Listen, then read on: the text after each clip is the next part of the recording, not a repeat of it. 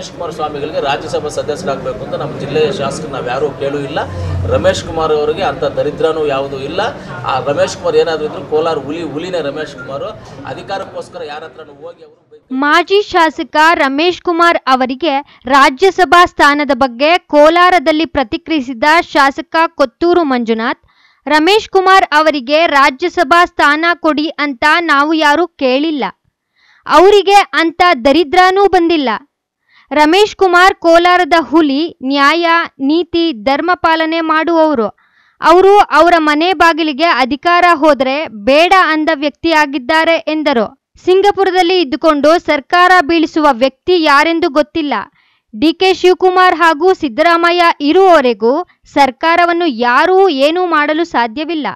ನೂರ ಮೂವತ್ತಾರು ಶಾಸಕರ ಬಲದ ಕಾಂಗ್ರೆಸ್ ಸರ್ಕಾರವನ್ನು ಬೀಳಿಸುವ ಶಕ್ತಿ ಯಾರಿಗೂ ಇಲ್ಲ ಎಂದು ಹೇಳಿದರು. ರಮೇಶ್ ಕುಮಾರ್ ಸ್ವಾಮಿಗಳಿಗೆ ರಾಜ್ಯಸಭಾ ಸದಸ್ಯರಾಗಬೇಕು ಅಂತ ನಮ್ಮ ಜಿಲ್ಲೆಯ ಶಾಸಕರು ನಾವು ಯಾರೂ ಕೇಳೂ ಇಲ್ಲ. ರಮೇಶ್ ಕುಮಾರ್ ಅವರಿಗೆ ಅಂಥ ದರಿದ್ರನೂ ಯಾವುದೂ ಇಲ್ಲ. ಆ ರಮೇಶ್ ಕುಮಾರ್ ಏನಾದರೂ ಇದ್ರು ಕೋಲಾರ ಹುಲಿ, ಹುಲಿನೇ ರಮೇಶ್ ಕುಮಾರ್.